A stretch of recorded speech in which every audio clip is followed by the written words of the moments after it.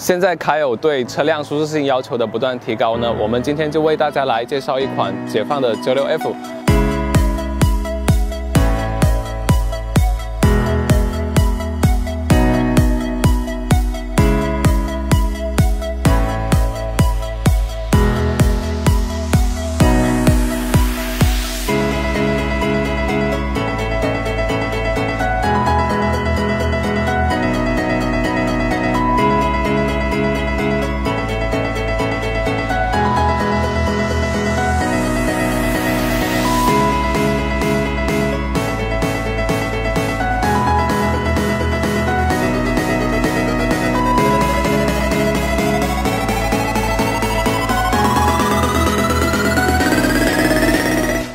为什么要介绍这款车呢？据说它的卧铺呢是可以睡到两个人的，然后具体是什么操作实现的，我们一起来看一下。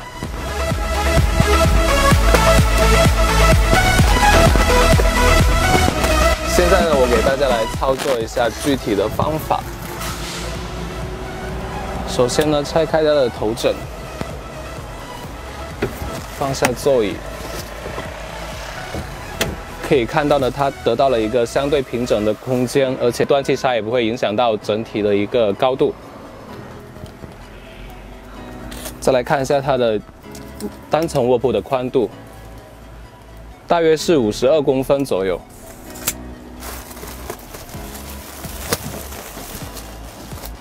再看一下它的双层，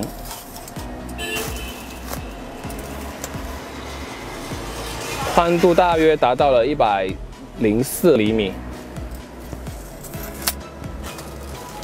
最后呢，值得说一下的就是呢，它的底板都是采用了一个木板的材质，对于睡两个人呢是完全没有问题的。它的一个承重。最后，我们再来看一下它的一个窗，对于晚上乘客的休息来说的话，是一个很人性化的一个设计了。